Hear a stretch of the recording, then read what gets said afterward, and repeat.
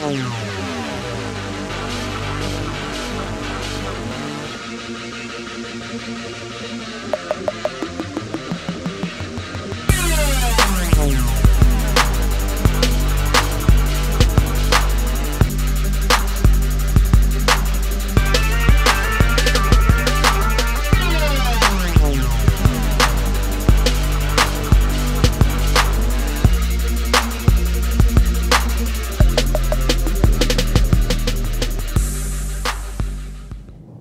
afternoon, Bobcats. Welcome to BBTV.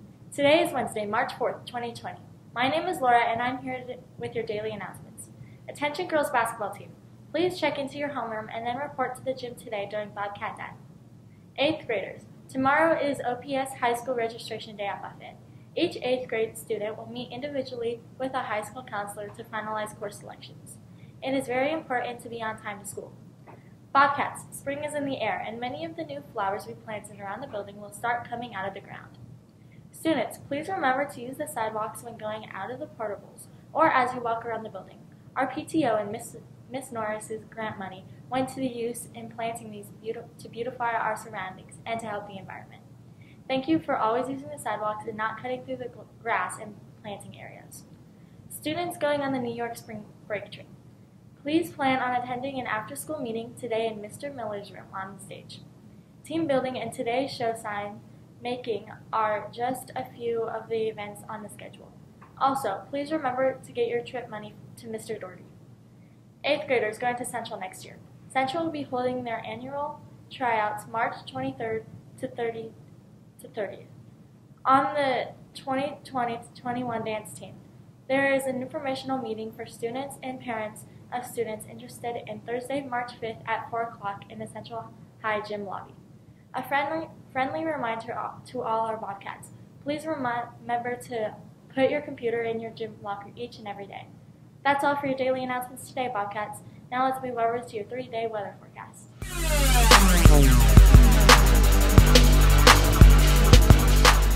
Hi everyone, I'm Anna and I'm here with your three day weather forecast. But first, I am bringing you some breaking news. The state of Tennessee is under state of emergency after the deadliest tornado in seven years. Just before the dawn on Tuesday morning, while many men, women, and children were still sleeping, storms rushed through the city of Nashville and surrounding areas. Survey teams report damage caused by an EF3 tornado with winds up to 165 miles per hour. Yet they are still unclear of the number of tornadoes that may have desolated the area. Officials went through standing and damaged structures, searching for survivors late in, into Tuesday night. As of the latest update, 24 individuals have been killed, 22 individuals uncounted for, and hundreds of buildings have been destroyed. The weather does not seem to be slowing down anytime soon either. Many new storms are brewing into other parts of the country. Taking a look at our local weather, it looks like we are warming up quite a bit. Might be windy, but with warmer weather, I think we are all a little bit happier. Today we'll reach a high of 62 degrees and a low of 40. Tomorrow will be a little chillier and windy with a high of 54 degrees and a low of 25. Friday will be sunny with a high of 55 degrees and a low of 42. But just wait, because this weekend we are heading into the 70s. Now, onto your top story.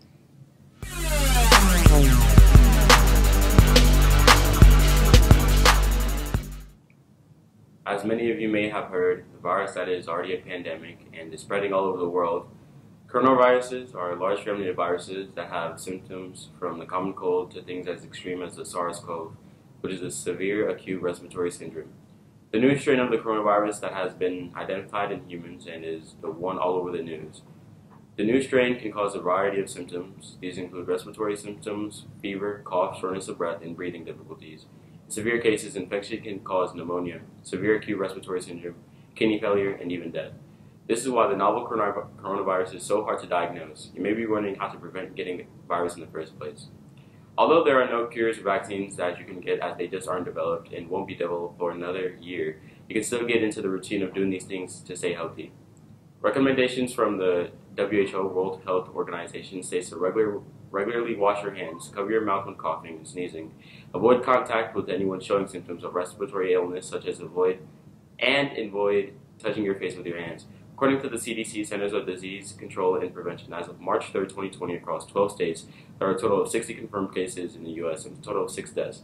As far as Nebraska, the UNMC has taken people in from China and cruise ships into their hospitals as that is what they specialize in. Our superintendent has stated that she is ready to cancel school for three to four weeks if somebody from Nebraska contracts the virus.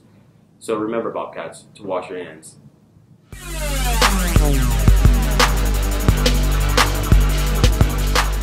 Bobcats, this is Davin. And it'll be here your sports zone. Starting off in Bobcat sports, our lady varsity basketball team played at the city and championship yesterday and brought home the trophy. Great job, Bobcats. Way to have such a great season. Next, boys swimming has a swim meet today at Morton Middle School at 3:30. Good luck, boys. Moving on to wrestling. JV is a city tournament today at Norris, and tomorrow varsity also has a city tournament at Norris.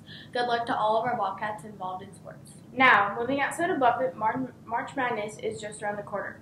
March Madness is an NCAA Division men's basketball tournament that has been happening for 82 years. The first game will be on March 17, 2020, and there will be a total of 68 teams playing.